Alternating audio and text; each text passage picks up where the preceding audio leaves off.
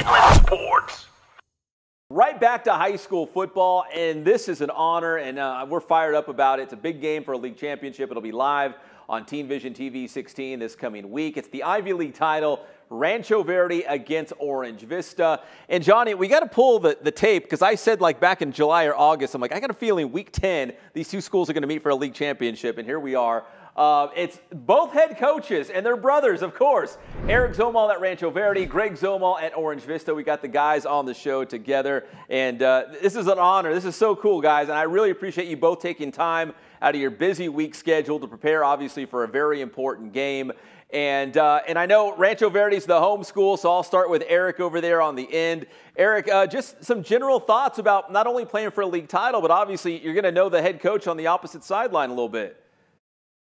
Yeah, no, I, uh, no, Pep, you did, you did call it, and I and I was, I said, I, I hope the game has some some meaning, and um, you know, and so and it does. Like it's for a league championship, so it's um exactly what you would hope for in a Week Ten. You know, uh, you know, not even cross town, down the street rival, and um, so it like it's gonna be super exciting. It'll be by far the biggest turnout that we, you know, we have, uh, you know, we've had this year at, at a home game. So and you know, and of course, you know, it's uh, you know my big brother, so that's an even uh, added element to it. But there's there's a lot of like uh, exciting components to this game. Oh yeah, yeah. I think uh, when you when you said that uh, when you predicted that back in probably what August, yeah. I want to say.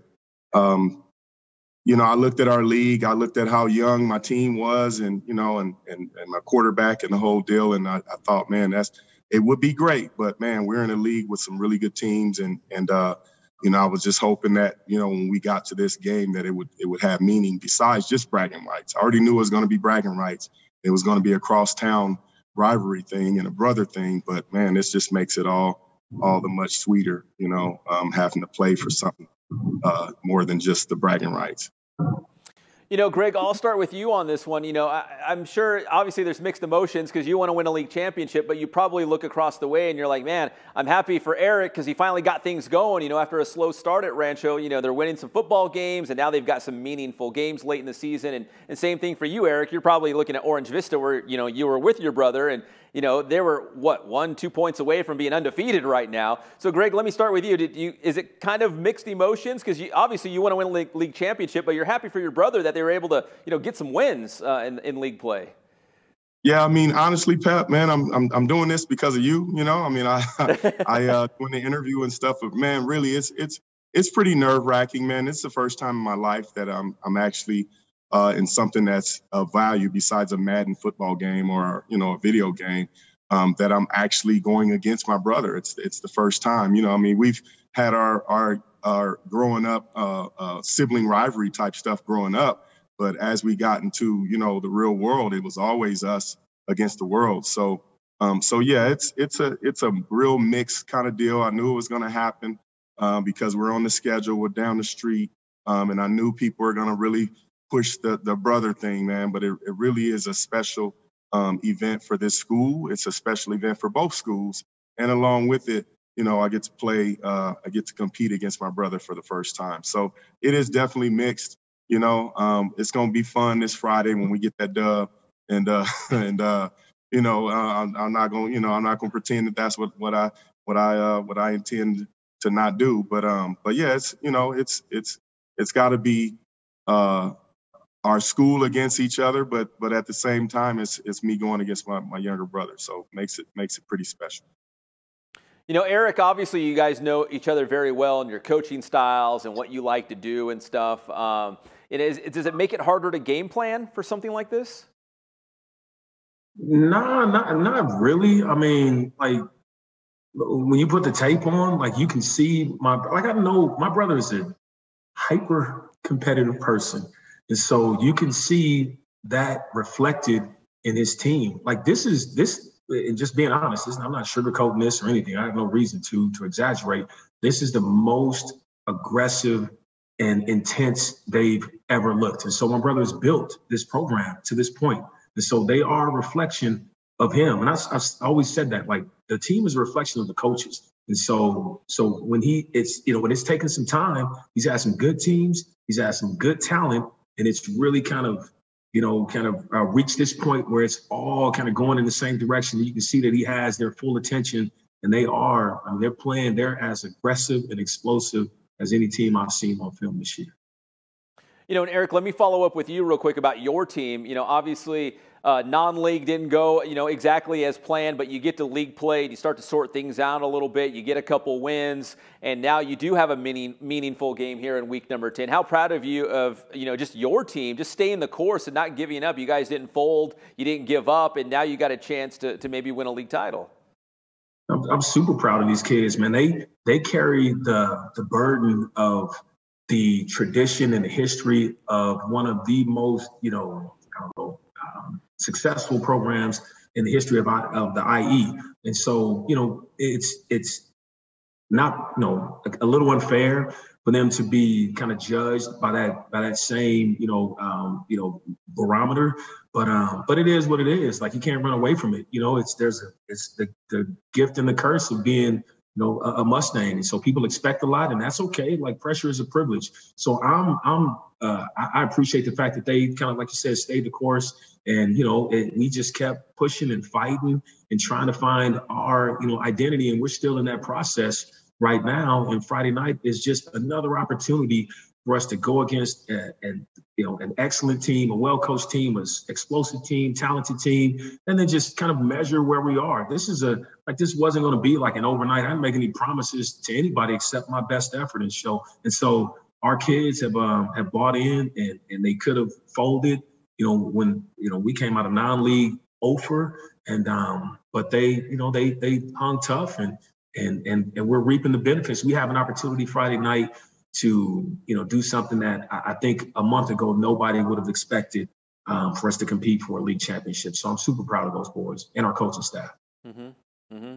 And Greg, let me go to you. I mean, on, on your side of the football, you know, for the Coyotes, you guys have been great all season long. You know, again, a point or two. You know, if you take that Elsinore game, you know, you guys could be working on an undefeated season. What's the message to your team this week in terms of just, hey guys, let's finish the job. We've come for, you know, we've had a great season. Let's not let it unravel here at the end because you guys, again, could be undefeated right now. Yeah, that's that's exactly it, Pep. You know, it's a uh, staying focused, staying the course. Man, I have a, a, a, great coaching staff, man. We've been together for, most of my guys been together for five years. Um, and, uh, and we are right in line with the same message on from our coaching stuff, from the principal all the way down to the water girl, to the, you know, the, any player on the team, um, is that, man, if we stay the course, we're pretty good. Um, but when we when we get unfocused and we start thinking, we start smelling ourselves and thinking like we've arrived and and we're we're really that special, then that that's when we kind of lose focus and and uh, and have those hiccups. You know, Elsinore, not to take credit away from them, but you know, but um, but you know, I think we we kind of la- uh, lacked the focus that week. Um, it showed in practice. Coaches, we were pointing it out, you know, and at the same time, you know, we're we're the kids are a reflection of the coach. So um, I took that as a challenge to myself to never let our kids, um, you know, be in a position where we we haven't prepared them. And I felt like at that point we we hadn't prepared them for for that type of a game, you know, a league championship. That's what we were saying. That you know, Elsinore was one of the top favorite uh, teams in the league, and and we were looking at that game as man, this could this could be the you know the the what what turns out to be determining the the league championship um, you know, I'm thankful to the Rancho Verde Mustangs that they they uh, put an L on their on their record, and then and then North um, also you know made it made it even tougher for them. So um, it put us in position to to uh, play for an outright league championship, and that that's all you can ask for, man. I got a young team, but I got really good coaches. Uh, and I got um, support of my admin and you know and the community supporting and you know I got ASB behind us. Everybody's fired up about this game and uh, everybody knows what what it means besides just the bragging rights and and so uh, and so I'm just excited, man, and our, I'm excited for our kids, and I'm I'm really excited for my coaches, you know, because they don't you know they don't always get the credit they deserve. Well, guys, I don't know how much you communicate during the season, but uh, Greg, you just brought it up. That was a huge, well, it was a huge win for Rancho Verde to stay in the hunt for a league title, but beating Elsinore was, you know, obviously huge for Orange Vista as well. Was there a text message or anything between between you guys after Rancho beat Elsinore?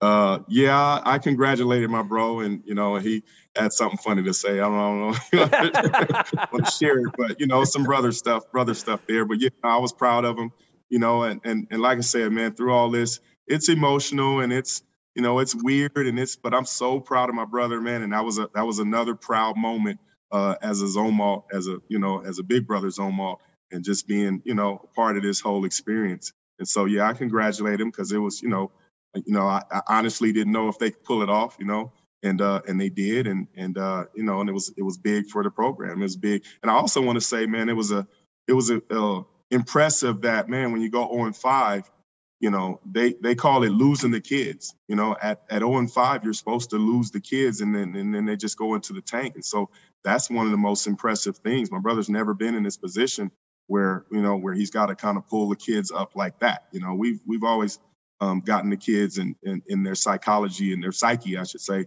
and uh, and and get them to believe and have confidence. But man, he's got them playing with some confidence and he's positioned himself. And you know, not to give him too many compliments because we, you know, we, we got to get him on Friday. But but man, I'm impressed with the job he's done, and and and uh, you know, and that's that's what it is. You know, I'm just proud of him.